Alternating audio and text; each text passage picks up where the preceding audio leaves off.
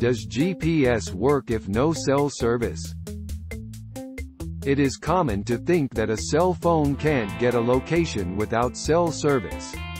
In fact, if you ask the average employee of your cell service provider if you can use the phone's GPS without cell service, they will say no.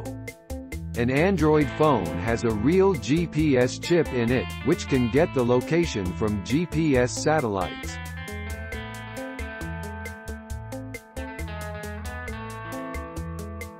Thanks for watching. Please subscribe.